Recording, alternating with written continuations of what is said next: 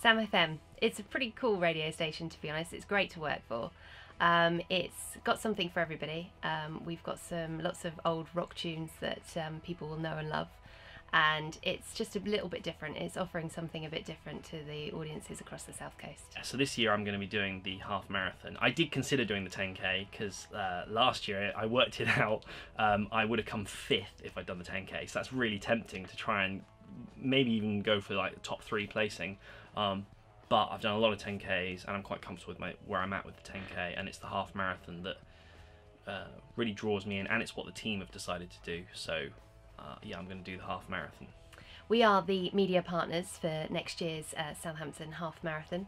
Um, we're really excited to be involved. It's a great event. Um, obviously, it's, it's fairly new to the city, with last year being the first event, but we're all really excited to be involved this year because it was just mentioned to me, and it's something that I've thought about doing uh, many, many times before, but never actually gotten around to doing. And uh, then Stuart came in and mentioned that people from Sam FM were doing it, and uh, I thought, sort of just agreed in the spur of the moment. I think it's quite good to be a part of a team. Whilst it's an individual effort, so I'll be racing against myself.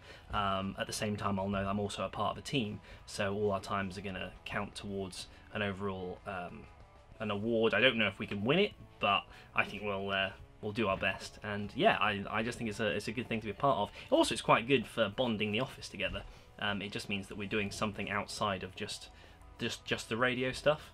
Yes, I think the best thing for uh, new runners, the best advice I can give them is just start now. Don't don't be afraid. Even if you go out and do a mile, two miles, it's something, and just build your strength up from there people don't realize they think just you just go out to get be a better runner you just go out and you run and you run and you run but it's not that there's a lot more to it. It actually helps to put a cycle ride in once a week. Sometimes even a bit of swimming can help. It changes it up and it gives those muscles a rest whilst keeping your lungs going. And also um, squats and a lot of strength training is very beneficial to a, uh, a good running program. Not yet but this uh, five months. So i'm going to start training in earnest today.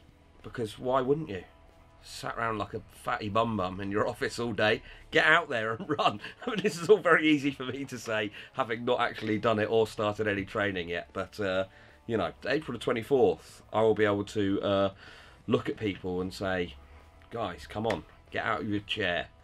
Um, what was the old "Why don't you" slogan? Switch off your TV set and do something less boring instead.